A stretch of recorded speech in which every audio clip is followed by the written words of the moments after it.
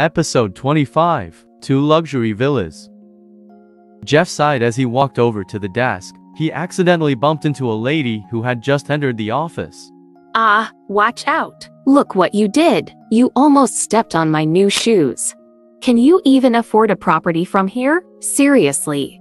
The woman had short brown hair. She wore sunglasses, a long figure-hugging dress, and a pair of high-heeled crystal sandals. Although she looked to be in her mid-30s, her exposed arms were as white as snow. Behind the woman, there was a man wearing jeans, a white vest, brown leather sandals, and carrying a bag under his arm. He said, Don't waste your time talking to someone like that, baby. Let's go inside and take a look. Darla quickly walked over and warmly greeted the couple. Then she glanced at Jeff, looking irritated with him. Sorry you've had a bad experience in our office. She said, The people around here know that this is a high-class residential area, so some people who can't afford to buy a house often come to our sales office to enjoy the free air conditioning. Darla explained to the lady in dark glasses. Of course, Jeff knew that she was talking about him. He just smiled and said, So you think I can't afford a house at all? How much would it cost to buy the whole residential area? Darla looked at Jeff and said, Sir, the minimum price for a house here is half a million dollars. I can tell from looking at you that it's not something you can afford. Darla gestured toward the door, smiling as she pursed her lips. Jeff ignored her and said, I'll take a look here. If there's a suitable property, I'll buy it. He walked over to the sales desk to check for himself. This really annoyed Darla. You want to buy a property here? She demanded, You're shameless about being here, but I think you just want to stay in air conditioning for a while longer. Ignoring Jeff, Darla ushered the couple to the sales desk and began showing them properties. After discussing various properties for about 10 minutes, the man decided which house they wanted to buy. I'll take that villa. He said, We've come here several times before.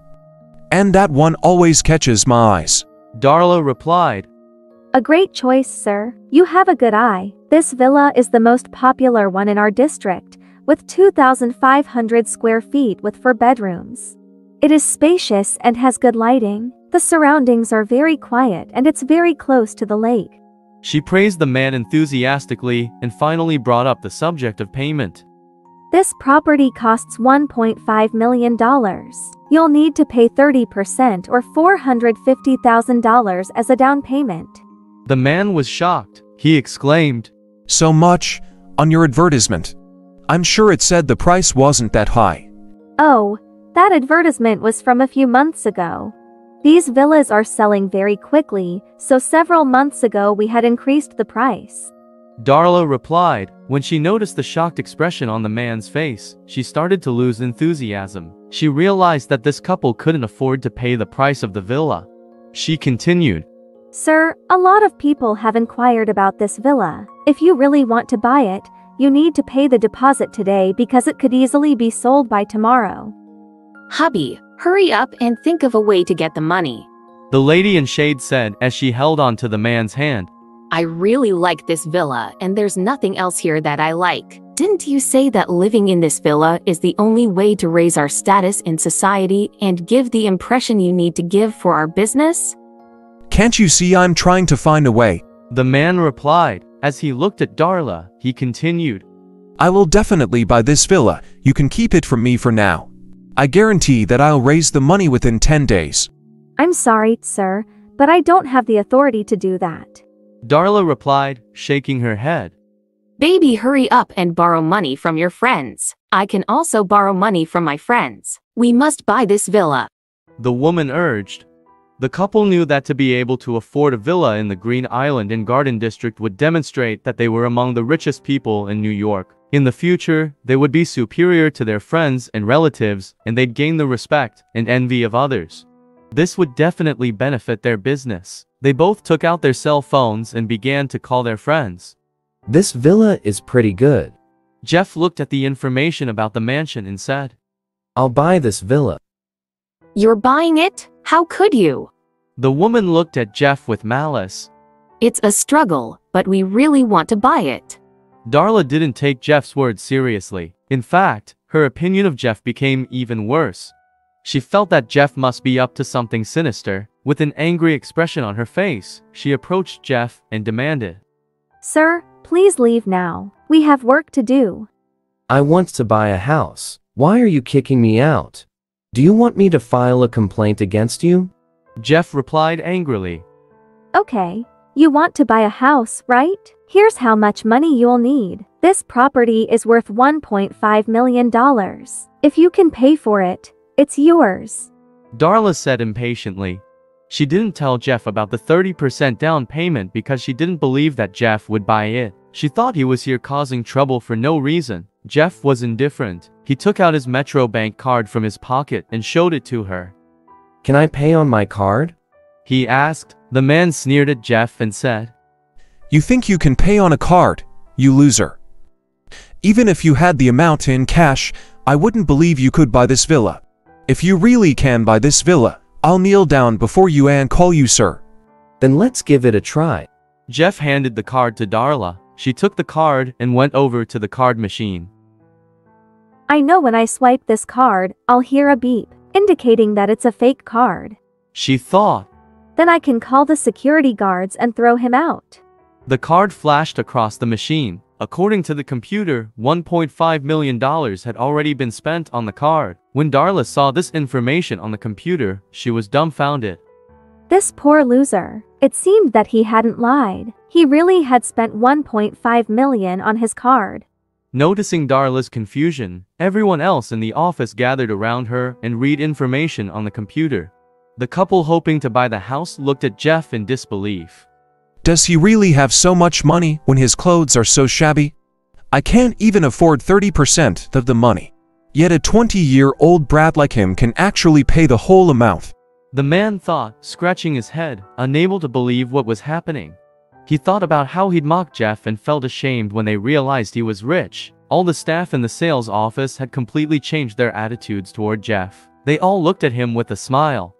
A few of the salespeople even ignored the other customers and offered to make coffee for Jeff or to bring a fresh water. They all became very friendly. But there were only a handful of people who could afford to buy a villa worth $1.5 million without thinking. What really surprised them was that Jeff was still so young. He was clearly doing far better than most of his peers and had a really golden future ahead of him.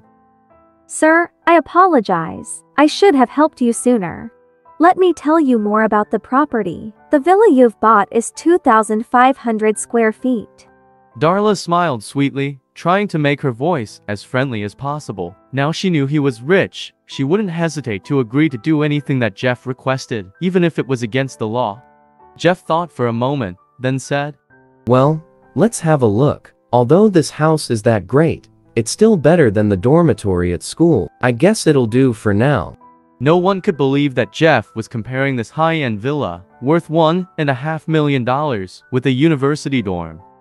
They didn't know Jeff's true identity and couldn't comprehend what he was saying. They found him very arrogant. One of them said, Wow, now I think he's intentionally showing off his wealth in front of us. You'd think that buying such an expensive villa would be enough. Another joined in. Everyone, don't fall for it. I'm sure he's exaggerating just to look cool in front of us. I bet he's got real problems. And exaggerating, Jeff shook his head and smiled as he glanced at the others. To be honest, I could just as easily buy a nightclub. When they heard this, the others couldn't hold back their laughter. A nightclub would cost $5 million. This villa was 1.5 million. You surely don't have that sort of money. They each thought. If you're as rich as you say, why don't you buy that super luxurious villa on Emerald Island?